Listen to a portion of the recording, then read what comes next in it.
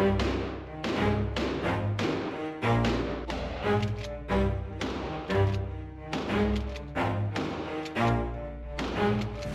stop, I'll get it if I want it Gotta make to myself a promise I won't quit, keep going till I got it I won't give up till I'm on top, Yo, yeah no, I ain't the type to give up. If I do something, man, I do it till I get what I want. I turn a business out of nothing into something I love. I got a poker face, but honestly, I'm not I flip a switch, never miss.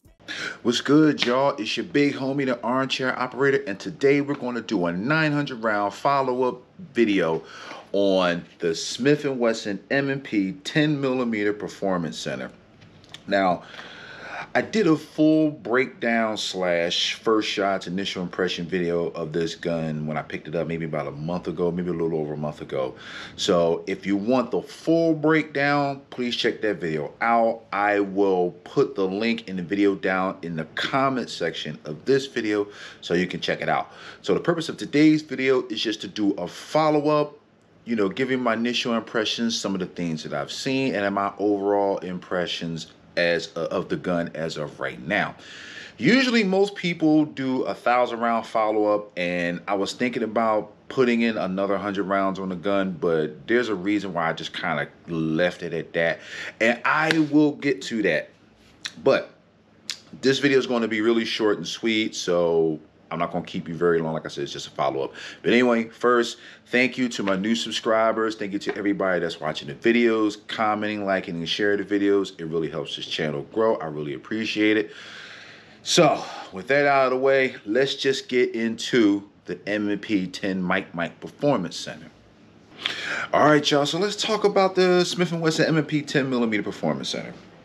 First things first, let's do a clear check. Okay, as you can see, it is on an empty chamber. Magazine is empty. This gun is clear.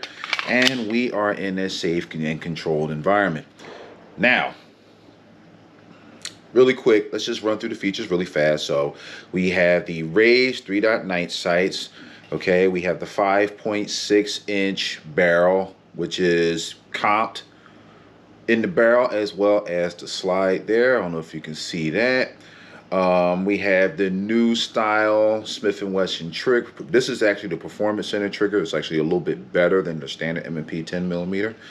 Of course, you got your custom, your standard M&P 2.0 grip texturing here. This is the large backstrap.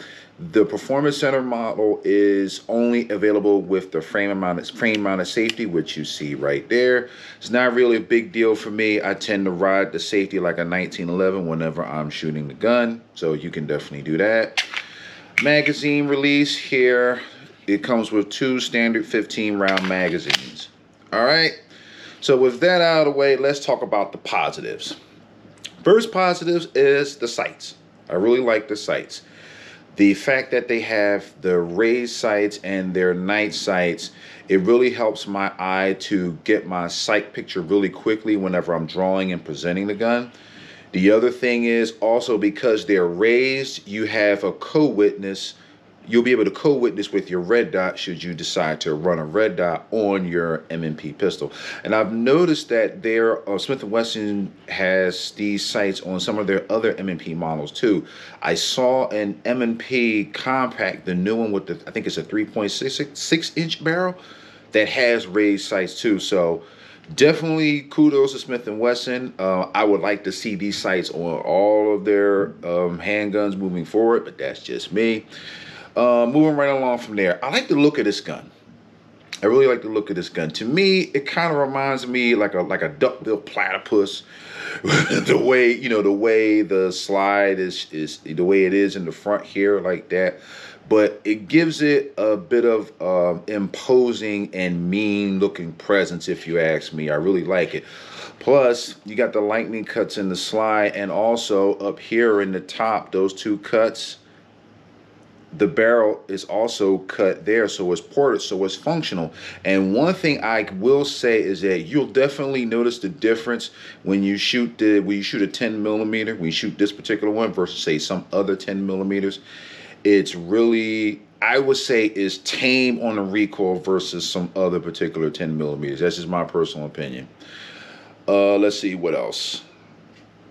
Just basic ergonomics, Smith & Wesson ergonomics that I just come to really like about these particular guns, you know, and you know with the backstrap system that they have, and the palm swell, it really allows me to bear down on the gun and keep it under control, even with that 10 millimeter. When I tell you that this thing is accurate, it is accurate. Like I could, I'm known for keyholing targets at five, seven, 10, even 15 yards and more with this thing. And the Performance Center trigger really helps me to do that. And this particular one, it feels a lot like the M&P competitor trigger on the initial pull, but the reset to me is a bit more tactile and a bit more forceful, which I really like because it helps me to remember where that reset is. So that way it makes those follow-up shots that much easier. And as anybody that's been shooting handguns a while will tell you, the less that you deviate this muzzle with your trigger pull, the more accurate your shots will be. So that's why I really like that. Um, it's fully ambi as you can see, you know, um, slide catch slide release over here and over here. Also the frame safety here and here. Now, I will say with the frame safety, like I said, you can ride it like a 1911, and it's another point of contact, so you can really bear down on that recoil and help it keep it under control. So I could do without the frame amount of safety personally, but it doesn't bother me. You know, it, it's functional, it's useful, unlike some other guns that have frame amount of safeties, which are just kind of in the way.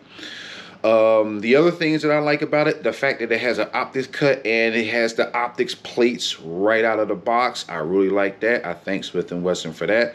There are manufacturers that give you an optics cut, but they don't give you the plates. So to me, that's not fully optics ready if you have to go and get the plates in order to put your red dot on. So, um, the magazines themselves, I mean, they look cool. They feel rugged. They feel durable. I haven't had any issues about you know, with the magazines or anything like that since, you know, during my 900 rounds of testing. And of course, we have our Picatinny rail here. Also, one last thing to note, I do like the rear slide serrations here. They're very, they're pretty grippy. You know, really makes it easier to rack the slide with no problem. So that's good. Okay. With all that being said, let's talk about the cons. The main, my main gripe with this particular gun is its reliability. So, out of the 900 rounds, my first 700 rounds, and I've shot various um, loads. I've shot Sellier and Bellot. I've shot Blazer Brass through this. I've put uh, 2A warehouse reman ammo through this. I've put some Federal 180 grain through this and the I have had numerous failure to feed issues. All together, I've had about nine out of the 900 rounds. It's kind of odd that it came out to be nine. It's like one failure to feed out of every 100 rounds. So to some people, that may not sound like much. To me, that is a problem for me. But I'll get to, I'll, let me get into more detail as to what I've experienced so far. So after doing some research online, I've noticed that there were other people who have experienced similar issues with failures to feed with this particular gun. Some had issues with the magazine springs not feeding the rounds up properly, you know, so that way when the slide goes forward to bring it back in the battery to strip the round off the off the magazine, the round would be sitting up too far in an angle. So i'm gonna say that I didn't experience that particular issue. I didn't have any issue, that kind of issue with the magazine. My issues have been failures to failure to feed, specifically failure to go fully back in the battery. And every single time that it happened, just tapping the rear of the slide will send it in the battery. It'll fully chamber, it'll be ready to fire. So in my research, uh, some people basically said the gun was undersprung, and I can definitely attest to that. One of the things that I have noticed when I was shooting the gun was that the the slide was seem to get a bit sluggish at times. You know, it would feel I call it chunky, but basically it, it, it felt like it was kind of losing speed when it when it needs to snap back in the battery, and not and not too long after I started feeling that, I would get a failure to feed here and there. Um, so one of the one of the things that I've read, some people said to replace the recoil spring. Now, if you didn't know, um, the recoil springs for the 45 the M&P 45 caliber, specifically for the 5 inch model, will fit and work in this particular gun. So that was the first thing I did. I replaced the recoil spring that came with the gun with an OEM Smith & Wesson recoil spring for 45 and I ran it and I got through almost 200 rounds when I got to about the last five or six rounds of the testing, I had one near failure it went back and then it came forward. It stopped for a split second and then it finally went fully in the battery. So I'm still counting that as a fail in my book because pistols don't work like that. They should cycle and continue to cycle until the ammunition is spent. Is spent. Excuse me. So I still count that as a failure, even though it went in the battery without me having to tap the rear of the slide. So the, after that, um, yeah, okay, so that particular issue happened after I replaced the recoil spring. So then I went and looked again, and some people recommended the Wolff Precision recoil spring. So this is basically, uh, yeah, I don't know if you guys can see that, but that's basically what this is. I'll put a link to the website down in the in the details section, so just in case. But basically, the one that I got is the Wolff Recoil Spring and Guide Rod, for the 22 pound one. So essentially, it sends you the when you get it, you will get the spring and you'll get the guide rod assembly. They're they're two separate pieces. They're not captured, but you can still install it in the gun and run it just like the standard stock OEM springs. Just if you're planning to do that, two things. One, the spring is not captured. So when you go to put the put the recoil spring and guide right in the gun, be very mindful of that because you're putting it under spring tension. it's very easy for that thing to slip. You don't want it going into your eye. You don't want it going into someone else's eye. You don't want it going into your TV and all that. So just be very mindful of that. That's the first thing. The second thing is I've noticed that the recoil was a bit more stout during shooting. And I just basically attributed that to the heavier recoil spring that I put in there. So I replaced the recoil spring and I ran about another 100 rounds through the gun. That brings me up to about the 900 round mark. And like clockwork, just as I was nearing the end of my last 100 rounds, I got a failure to feed. And in that instance, I had to hit the rear of the slide to get the slide to go fully in the battery and to continue shooting. So I say all that to say, I really like this gun. I really like this gun. I want to love it, but I can't.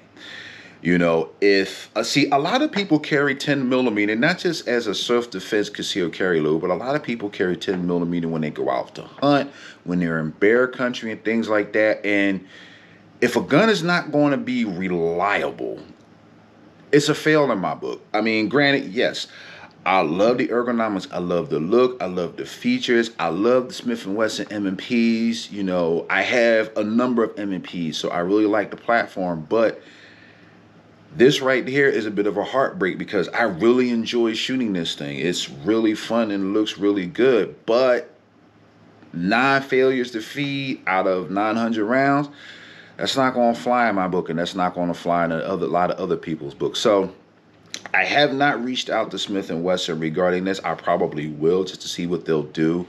I've heard other people said that they've done the same thing, and unfortunately, whatever remediations that Smith and Wesson did, it did not fix their particular problem.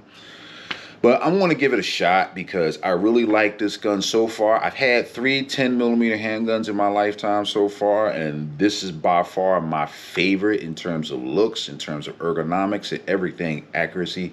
So I really want this to be as bomb proof, reliable as my other 10 mil, as my other, as all my other handguns. Honestly, that's what I want for this. So I'm not giving up on it. I'm going to see what I can do. I may get the 24 pound recoil spring, but I don't. I'm not sure if that's going to solve the issue here. One thing that I do note that I did notice that when the gun is cleaned, it'll run like a champ.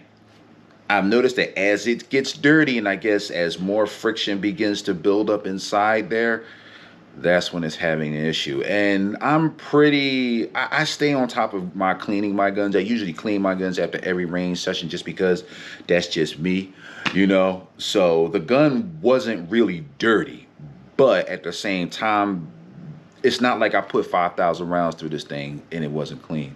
So I'm not going to take that, you know, that's no excuse. So, but anyway, I'm going to leave it there for the most part. Like I said, you know, I really like the gun. It's fun to shoot and everything, but I cannot, in good conscience, recommend this for someone who's either, you know, home defense.